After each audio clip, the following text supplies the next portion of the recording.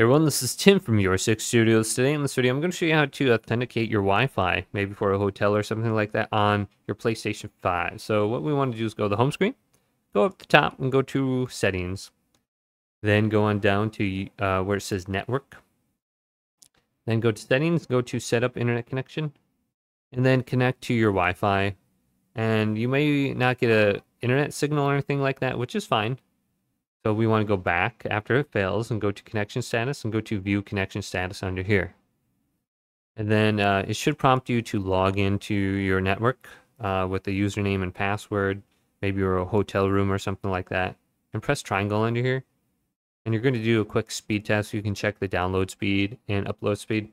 Now, if it doesn't prompt you to log in, uh, we can try going to test internet connection right here. Just do a quick test and see if that works as well. And then we can back out and we can open up the internet browser. If we go to where it says guide and tips, go to user's guide right here. This opens up the internet browser and it might prompt you to log in there. But we can go back under users and accounts too.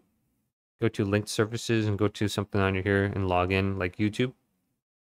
Link it and then go to use browser. And it'll open up the internet browser. We can go to terms if it works and then we can go up to search right here and then we're on Google. So hopefully this video did indeed help you guys out. Did, leave a big thumbs up and subscribe my channel down below for more tech videos coming up next on Your Six Studios.